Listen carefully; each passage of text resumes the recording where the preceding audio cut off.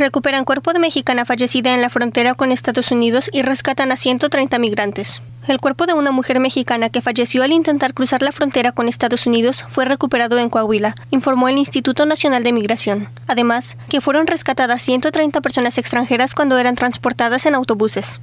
El Instituto Nacional de Migración informó que elementos del Grupo Beta Ciudad Acuña recibieron el reporte del Consulado de México en Del Río, Texas, en el que se daba cuenta que una mujer originaria de Guanajuato manifestó que su hermana había muerto del lado mexicano en su intento por cruzar la frontera, por lo que se iniciaron operativos de búsqueda. Luego de varias horas de peinar la zona señalada, fue localizado el cuerpo en la zona serrana de Acuña, cerca del rancho La Herradura, donde llegaron los servicios periciales, personal de la Comisión de Búsqueda de Personas Desaparecidas, Fiscalía del Estado de Coahuila y Secretaría de Seguridad Pública, precisó el instituto.